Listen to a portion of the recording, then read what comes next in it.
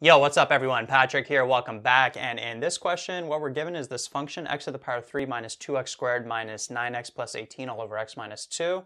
Got to go through these three questions here. So number one, we got to comment on the continuity of this function.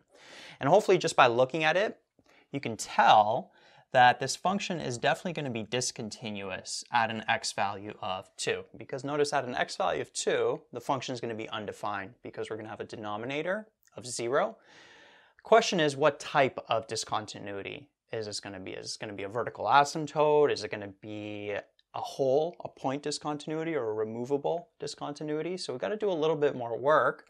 And the way we could figure that out is we can actually try to factor the numerator and see if any factors potentially cancel out.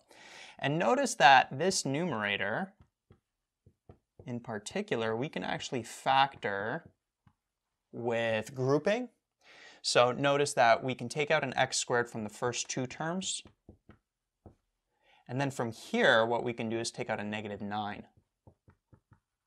from these two terms.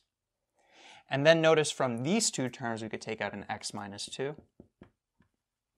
And so we'd be left with x squared minus 9. And then notice that x squared minus 9, it factors into x minus 3x plus 3 like that. So this numerator here, it factors into this here. So if we take this function and we rewrite it, so in the numerator, I'm going to put this factored form uh, all over x minus 2. Well, notice now, at this point, these two factors are canceling out. And so what that means is that at this x value of 2, there's going to be a hole. And we'd be left with x minus 3, x plus 3. Right? Another way to look at this is that at this x value of 2, the numerator and denominator are 0. Right? Notice if we take this 2 and we plug it into the original function, we would end up with this form 0 over 0. You can see that over here too before we canceled out. This bracket would be zero, this bracket would be zero. And for the vast majority of the cases, if you end up getting this kind of form, it usually means at that x value, there's going to be a hole. Not always, but for the majority of the cases. So just to kind of expand on that, what I just said, like let's say we had instead a function like this,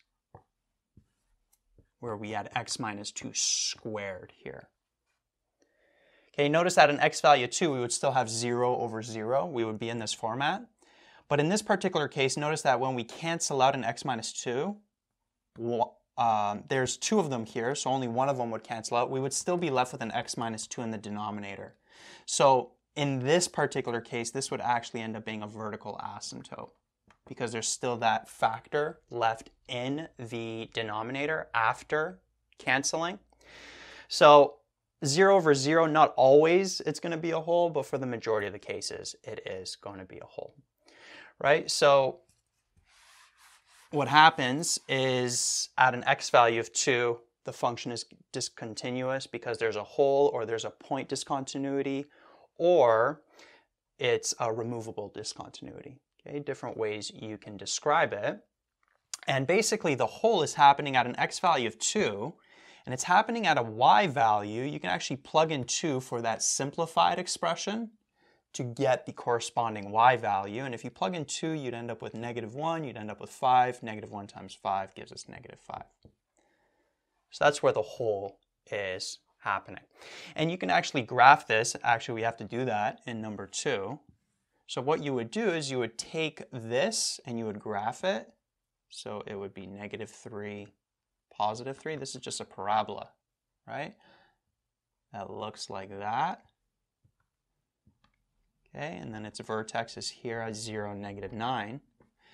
But at the point 2 and negative 5, which let's say that's like uh, over here, there would be a hole. Right, so this function, if you took this function, put it into Desmos, you'd get a graph like this. So continuous for all x values except that x value of 2. And that's how the graph looks. All right, so number three now, what we got to do is we got to define a new function so it's continuous for all x values. So how can we do that? Well, what we can do is we can actually take f of x and create a piecewise function.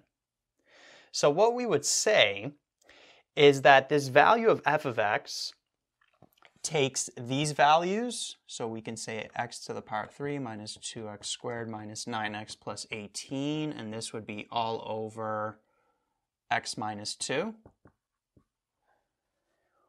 We would say that it's defined as this for all x values not equal to 2 right? Because for all x values not equal to 2, this function is going to be continuous. In fact, it's going to be that parabola that I showed you. The problem is, is that that x value of 2, there's going to be a hole there. So what we can do is we can just define a y value at that x value of 2. And the y value we want to define is negative 5.